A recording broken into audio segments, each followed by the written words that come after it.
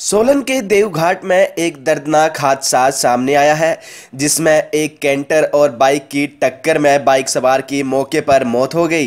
हादसा सुबह तकरीबन सात बजे का है, जिसमें सोलन से परमाणु राशन लेने जा रहे कैंटर के साथ बाइक की टक्कर हो गई। हादसे में बाइक चालक के सर पर चोटें लगने के कारण मौके पर मौत हो गई।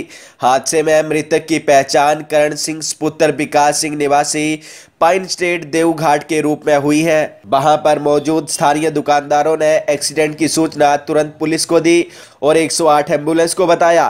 पुलिस ने तुरंत कार्रवाई करते हुए मौके पर पहुंचकर सबको कब्जे में लेकर पोस्टमार्टम के लिए भेज दिया है। ये पौने सात बजे के करीब हुआ है वैसे एक्सीडेंट में तो मैं गाड़ी का टायर लगा हुआ था बनाने जी। तो एकदम से बड़ी ज़ोर से आवाज़ आई जी, जिस तरह ब्लास्ट होता है जी।